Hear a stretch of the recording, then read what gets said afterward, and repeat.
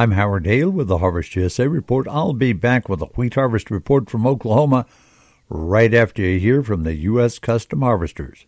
The most important time of the year is harvest time and getting that crop in the bin. The U.S. Custom Harvesters are here for all farmers who may need harvest help during the most important time. From finding custom harvesters for farmers to positively influencing government and regulatory agencies, the U.S. Custom Harvesters are continually trying to enhance their profitability of custom harvesters and the American farmer. The U.S. Custom Harvesters, we harvest the crops that feed the world. Become a member, go to uschi.com on Twitter and like us on Facebook. U.S. Custom Harvesters.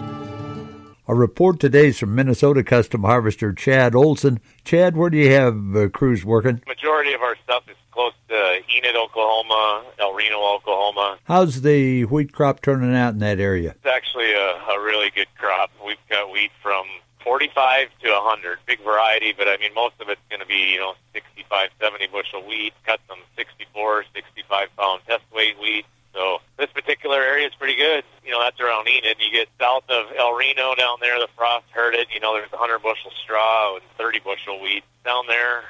Frost kind of kind of killed it. Seen any protein samples? Yeah, where I'm at, close to Enid, they've been taking protein. It's not the greatest. A lot of nine and ten uh, percent protein. Any weather delays? And it's probably the best harvest conditions I've seen in in a long time everybody complains about the 100 degree weather, but it's been pretty awesome for cutting wheat since we've started. I think we've been rolling around Enid for eight, nine days, and uh, yeah, real good conditions. Ground conditions are good, so going well. God got it wrapped up there. I think there's a few people that'll be done by the weekend. We probably have another uh, at least seven, eight days. Chad Olson, Olson Custom Farms, working around Enid, Oklahoma. Thanks for joining us. Great to have you along. May God bless. Join us again, won't you?